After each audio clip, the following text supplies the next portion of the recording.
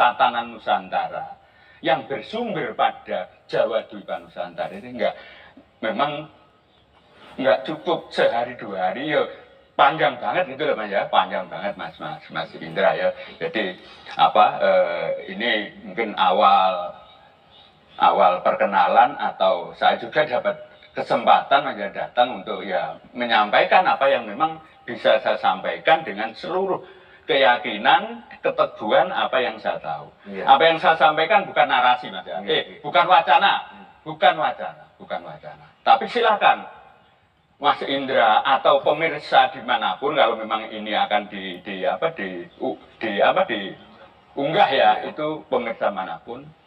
Tetapi prinsip dasarnya adalah tatanan Jawa Dwipa Nusantara jagat semesta raya yang memang benar-benar berawal dari tanah Jawa Jawa ini pagelaran agung pertama kali semesta raya oleh sang pencipta ini memang benar-benar dari tanah yang sekarang itu tanah Jawa Dwipa ini mas atau tanah Nusantara ini benar-benar seperti itu Hmm.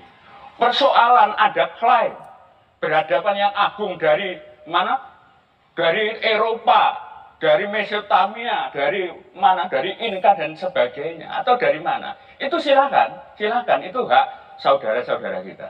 Tetapi apa yang saya namai di sini, mas, saya juga, tapi saya tidak pernah mengunggah, di medsos, mas. Hmm. Tetapi di WA jaringan saya, saya sampaikan bahkan di Banyuwangi TV saya apa apa yang saya sampaikan dengan tema revolusi alam semesta dengan seluruh isinya untuk mengembalikan ke tatanan yang agung adiluhung yaitu tatanan yang mula-mula, tatanan yang kawitan yaitu tatanan Jawa Dwipa Nusantara. Lah, realnya kayak apa Cak Pono tatanan Jawa Dwipa Nusantara? Yuk, tatanan semesta itu sendiri dengan segala perwujudannya yang kita siapa pun manusia di muka bumi ini tidak satu pun diberi kuasa untuk menguasai Mas Indra. Hmm. tapi hanya kuasa untuk menata. Supaya benar-benar menjadi tatanan yang agung yang adiluhur tatanan yang satu sama lain adalah saling menghormati. Karena pada prinsipnya manusia semua manusia apa pun jenis suku ras bangsanya itu adalah saudara.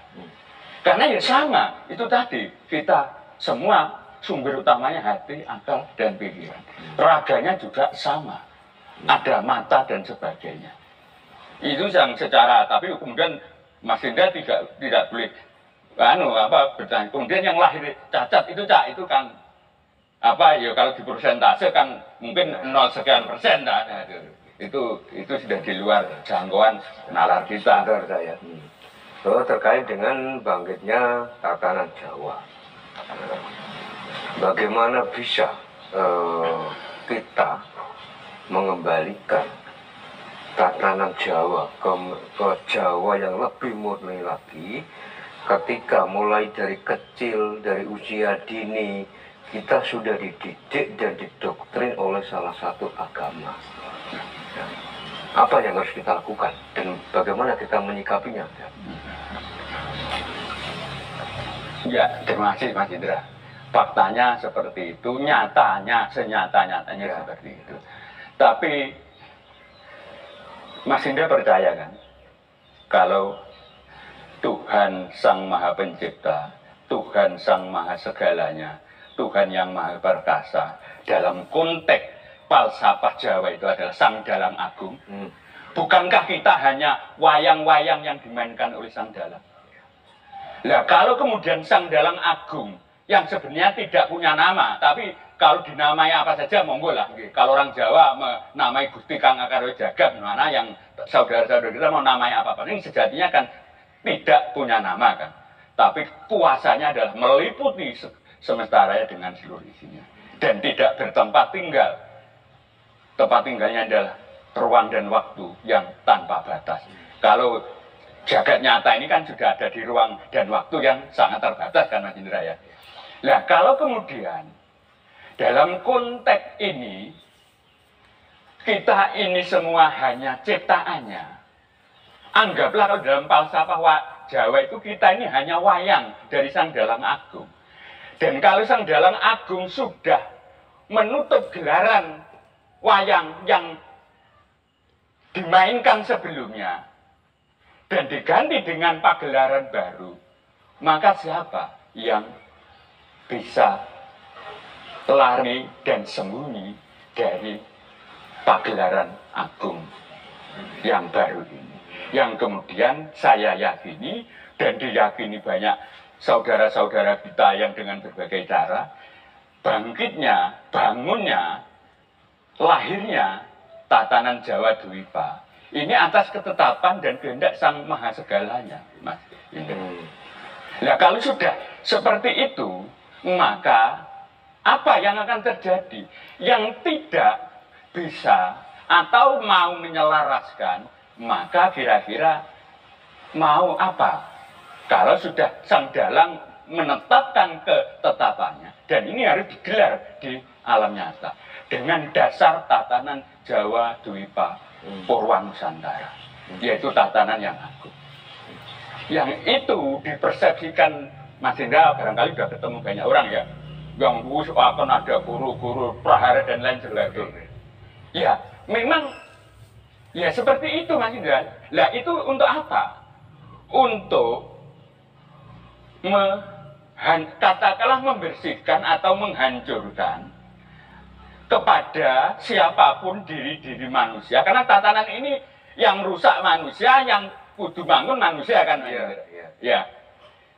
Ya, siapa? Diri-diri manusia yang selama ini yang justru mengatasnamakan keagungan, mengatasnamakan keluhuran, mengatasnamakan kemuliaan, mengatasnamakan persatuan, tetapi justru pelaksananya adalah saling memecah belah dan saling tidak menghargai dan rasa manusia dan kemanusiaan sudah digantikan oleh paham-paham yang justru meniadakan rasa manusia dan kemanusiaan atau rasa welas asih yang tanpa batas.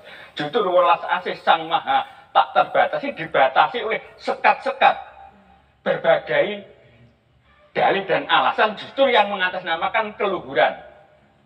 Tahu apa eh, arahnya paham Mas Indra ya? Paham. Dan itu benar-benar hari ini sudah berakhir Mas Indra sudah berakhir. Sehingga saya sampaikan lewat Mas Indra kepada pemirsa siapa di mana pun berada. Yang saya sampaikan di sini ini tidak wacana, tapi ini adalah sebuah keyakinan saya dengan apa yang aku tahu yang bersumber pada yang kemutlakan yang maha mutlak. Sehingga apa yang saya sampaikan mulai awal mm, sampai sekarang itu tidak lagi wacana, itu benar-benar ketetapan yang maha segalanya, yang maha perkasa. Iya. Nah, sebentar, eh, berarti tentang banyaknya musibah, bencana seperti COVID, gunung meletus dan lain sebagainya itu merupakan tanda awal akan kebangkitan budaya dan ajaran Jawa. Betul, betul, betul. Betul sekali. Dan ini masih berkelanjutan apa cukup sampai di sini, Kak? Terkait dengan bencana dan musibah dan sebagainya ini. Mas Indra, kalau kita semua manusia, mulanya kan kembali kepada akal pikiran yang sehat, Hmm, yang nyata, ya. dan tidak aneh-aneh kan, ya, tidak digoibkan, tidak digelengkan.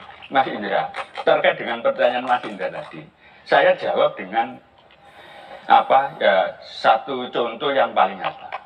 Contoh paling nyata dan ini bisa di apa eh, sangat mudah untuk dipahami oleh siapa pun selama mau membuka hatinya, Iya. menggunakan akal dan pikiran sehatnya. Kita bersama-sama menetapkan secara logika sebagai pertemanan, ayo kita berangkat ke Surabaya ya. Startnya dari Banyuwangi. Dan ke Surabaya harus nyampe ke Surabaya. Karena di Surabaya ada sesuatu yang luar biasa pentingnya kan gitu. Lah, saat sudah kita mau berangkat ke Surabaya itu kan orang-orang sekitar kita sudah dengar, oh rombongannya Cak Pono karo Mas Indra wong rong puluh lah, arep budal Surabaya ngayai tugas ngene ngene ngene. Wis krungu. sebelum berangkat sudah krungu. Lah apakah itu juga saat mengatakan sudah berangkat itu langsung nyampe Surabaya kan enggak ya? Enggak. Enggak kan? Lah begitu sudah hari H pelaksana memang sudah setat resmi berangkat ke Surabaya. Kan juga lagi-lagi karena kita tergantung kita naik apa kan itu kan Iya. enggak ya. Itu kan jelas tidak begitu iya langsung kaya sulapan langsung nyampe Surabaya. Kan ada proses. Nggih. Lah proses inilah sebelum nyampe titik Surabaya di jalan kita ketemu apa pun yang menghalang-halangi perjalanan kita.